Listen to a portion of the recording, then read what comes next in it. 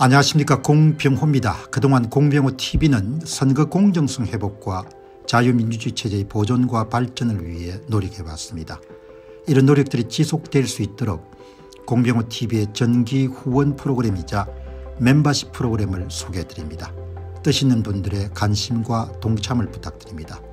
선거 공정성 회복을 위한 노력을 지지하시고 훌륭한 나라 만들기에 동참하시는 시청자분들이시라면 구독 버튼 바로 옆에 있는 가입 버튼을 통해서 정기 후원 프로그램에 가입할 수 있습니다.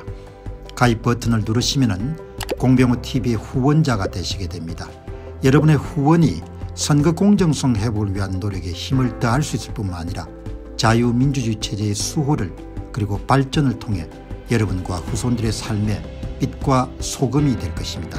특히 그동안 공병호TV는 선거 공정성 회복을 위한 노력 과정에서 채널 성장에 제약이 가해지는 불이익을 감수해왔고 지금도 그런 불이익이 계속되고 있습니다. 그럼에도 불구하고 너무나 중대한 문제이기 때문에 공병호TV의 노력은 계속될 것입니다. 여러분의 깊은 관심을 부탁드립니다. 감사합니다. 요즘에 참 이렇게 언론들을 보게 되면은 이게 비판거리가 아니죠. 비판거리 맞습니까? 나중에 찾아봐야겠네요. 예. 자, 오늘 중앙일보 여러분들 사설을 보니까 가장 상단 사설에 한동훈 장관의 부적절한 은행 비상대책위원장을 잘할 수 있을까 이런 사설이 난 겁니다. 제목이 여러분들 굉장히 도전적이지 않습니까 예.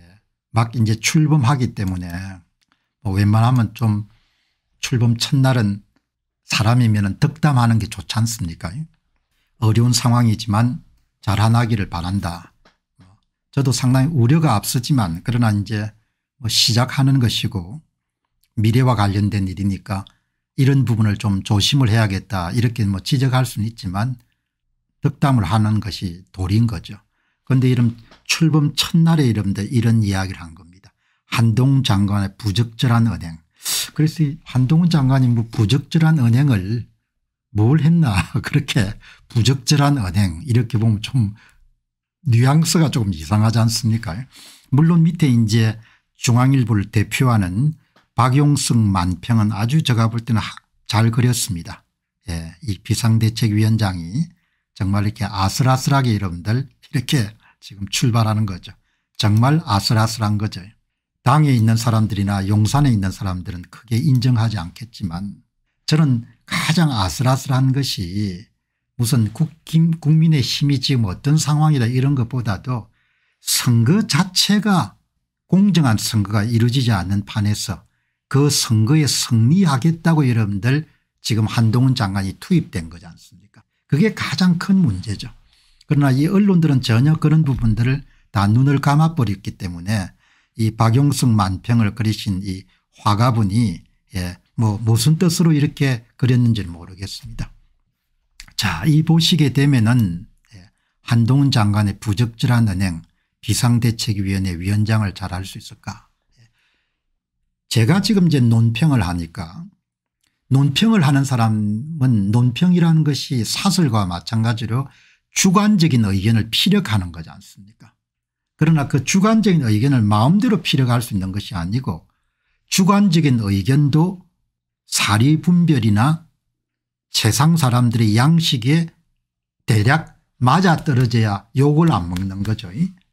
그런데 여러분들 어떤 사람이 자기가 논평을 한다든지 사설을 쓰는데 그게 여러분들 권력이라고 생각해 가지고 세상 사람들이 갖고 있는 양식과 이런 부분에 전혀 여러분들 맞지 않는 그런 주장을 펼치게 되면 은 그럼 욕을 먹을 수밖에 없지 않습니까 욕을 이게 보시게 되면 은 보시게 되면 은 예. 그래서 내가 이제 궁금해가 한번 읽어보니까 야, 이 글 쓰는 사람들이 이렇게, 이렇게 글을 쓰면 어떻게 하나. 예. 그러니까 이제 핵심은 이겁니다. 한동훈 장관이 좀 공손하게 이야기를 해야 되는데 국회 답변할 때는 너무나 말장난을 하는 것 같다 이렇게 이야기하는 거예요. 근데 저는 아니 한 장관이 하는 말이 그 상황에서 상대방도 무한하지 않고 자기도 살릴 수 있는 그리고 그 상황을 바라보는 국민들도 여러분 즐거워할 수 있는 그렇게 약간의 위트와 재치를 가미한 그런 답변을 많이 하는데 그게 칼럼을 쓰는 사람 눈에는 어마어마하게 여러분들 무례하게 보였구나 생각이 드는 겁니다. 그래 세상에는 진짜 예, 각양각색의 사람들이 있구나 한번 보시기 바랍니다. 이 칼럼을 쓰신 분은 한동훈 장관이 화술이 받아치는 데 능한 것을 넘어서 아무런 여백과 여운도 없이 상대방을 무시하고 몰아치는 인상을 주는 한동훈 장관의 직설이 정치합법에는 적절하지 않다는 비판이 더 설득력을 얻고 있다. 이런 이야기를 하는 겁니다. 오늘 방송 보시는 분도 이 칼럼을 쓰신 분의 이런 뭐 의견에 동조하시는 분이 계시지만 계시, 계실 겁니다. 사람은 다양하니까. 그러나 저는 이걸 보고 야 이러고 어떻게 글을 이렇게 쓰냐. 나는 한동훈 장관이 아주 재치 있게 유연하게 상황을 예, 넘어서는 그런 화술을 잘 구사하고 그거는 머리 회전이 참 빠른 사람이 할 수 있다 이렇게 생각하는데 예, 이거는 이제 뭐 아주 뭐 상대방을 무시하고 몰아치는 인상을 주는 합법이다. 이건 옳지 않은 거죠. 얼마 전에 이야기 나온 겁니다. 여기서 한번 말씀드렸죠. 한동훈 장관은 그 그제 국회 법사위에서 자신의 거취를 묻는 김영배 민주당 의원의 질문에 혼자 궁금해하시면 될 것 같다고 말했다. 거두절미하고 이렇게 했지만 전후 상황을 보게 되면 그 상황에서 한동훈 장관이 본인의 거취와 관련된 것이 결정된 게 없는데 그럼 뭐라고 이야기해야 되냐 이야기죠. 국민들이 다 궁금해하는데 김영배 의원 말씀이 그 당신 거취를 어떻게 할 거냐 그러니까 여러분 애둘러 가지고 예, 그냥 의원님 혼자서 그냥 궁금해 하시면 될 것 같습니다. 약간 머쓱하게 만든 건 사실이죠. 그러나 뭐 그게 말이라는 것이 한 방 때릴 수도 있지 않습니까 그러니까 대단한 거죠. 그 다음에 이런 보시면 이 한 장관의 발언은 민주당 의원들의 막말이나 인신 공격성 공시에 대응하는 과정에서 나온 것들로 상대의 잘못을 같은 방식으로 대받는 것은 책임 있는 고위공직자의 자세가 아니다. 한동훈 장관이 자신감을 갖고 상대를 깔아뭉개는 식의 합부망을 구수한다면 비상대책위원장을 성공을 거두기는 어려울 수밖에 없다. 글을 쓰신 분이 약간 피해의식이 있다는 생각이 드는 거예요. 저는 아 젊은 장관이 참 말을 재치있게 한다. 어떻게 저렇게 저런 상황에서 저렇게 재치 있는 말을 할 수 있을까 이렇게 저는 좋게 보는데 이 글을 쓰는 사설을 어느 분이 쓰셨는지 모르겠는데 이분은 피해의식이 굉장히 강한 모양입니다. 예.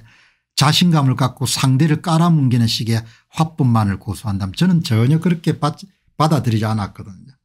여러분은 어떻게 받아들인지 모르겠습니다. 정치의 알파요 오메가가 말이다. 중요하죠. 예. 그러나 말 실수 한 적도 없고 말을 잘하지 않습니까 말을 그렇게 잘하는 것은 타고난 것도 있지만 뭐 독서량 같은 게 있기 때문에 가능한 거죠.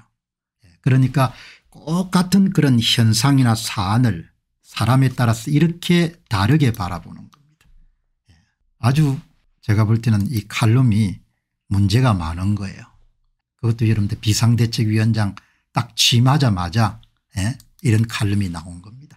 한동훈 장관의 부적절한 행 누구든지 눈이 휘둥그레 이런 부적절이라는 것은 성적인 문제와 관련되기 때문에 뭔가 하고 여러분들 대부분 들어가서 읽어볼 겁니다.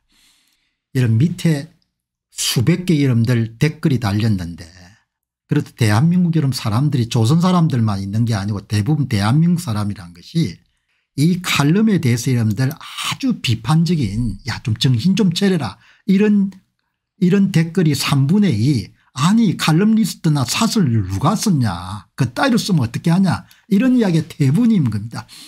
이게 무슨 억가사설입니까 국민을 바보로 합니까 이렇게 이야기하는 겁니다. 찬성이 59명이고 반대가 5명인 겁니다. 그냥 막 떠들고 막 쓰고 하는 게 아니거든요. 만인이 여러분들 공유할 수 있는 잣대 기준에 따라서 이런 글을 쓰는 거지. 그렇게 자기가 글을 쓸 수 있는 권한을 갖고 있다가 이런 남용하면 안 되는 거죠. 야당 헛소리에 할 말을 한 것이 막말이라고 그러면 온 국민이 야당 풀 뜯어먹는 소리에 바른 말을 한 한동훈의 발언에 속 시원해 한 것도 결국 야당에 대한 온 국민의 부적절한 태도란 말인가 대부분 사람들은 뭐죠 야 말을 참 재치있게 잘한다 53명이 찬성입니다. 개 풀 뜯어먹는 소리 하지 마시기 바랍니다. 그게 어떻게 부적절한 언행입니까 이렇게 이야기하는 겁니다. 이거 이 어느 덧 없이 한동훈을 디스합니다. 이게 사설이라고 시작도 안 했는데 고춧가루 뿌린 저의가 뭡니까 60명입니다. 예. 세상 사람들이 칼럼 쓰는 사람에 비해서 여러분들 글 쓰는 재주가 없을지 모르지만 옳고 그름을 변별할 수 있는 능력이 있는 겁니다. 중앙일보와 JTBC는 이제 뭐 당할 때가 온 것 같습니다. 46명이 찬성인 겁니다. 세상 사람들 우습게 보면 안 되는 겁니다. 내가 중앙신문을 안 보는데 가끔 보다가 보면 은 이게 뭐 신문 같단 말이야. 언제부터 이렇게 됐냐.